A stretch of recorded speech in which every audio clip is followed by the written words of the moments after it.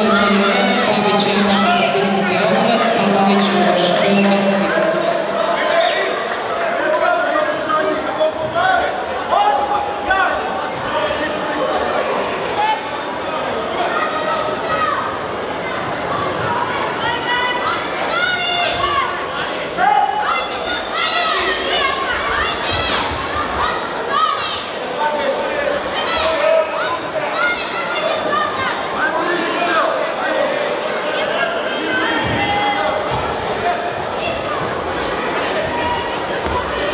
Dva muška zadanja Ljubanika Hrena, Brkušani Uroš, žandarmerija